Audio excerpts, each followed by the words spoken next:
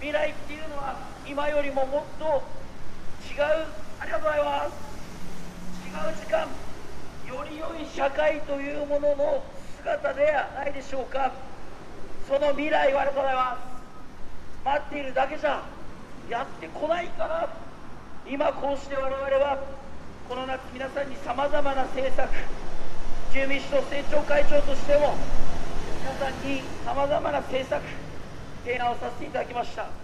それが我々が今描く未来でありそしてそれが皆さんに選んでいただきたい未来でありそして我々にありがとうございます。よろしくお願いします。今我々に命じていただきたい未来であろうと思っています。どうか皆さんのお力そして皆さんの期待そして願いどうか私佐藤誠そして自由民主党の多くの仲間に託していただきますことをお願いを申し上げましてこの場をお借りしましてのお訴えとさせていただきます。そして何よりもこの選挙の主役は市民の皆さんお一人お一人のはずです。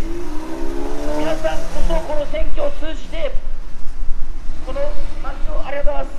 どうしていくかということをありがとうございます。選択をすることができる主人公であるっていうことそれを忘れないでいただきたいということをお願いします。よろしくお願いします。ありがとうございますどうか皆さんにお訴えをさせていただきたいと思います。ご清聴ご声援誠にありがとうございました。佐藤誠をどうぞよろしくお願いいたします。佐藤誠よろしくお願いします。ありがとうございました。ありがとうございました。ありがとうございました。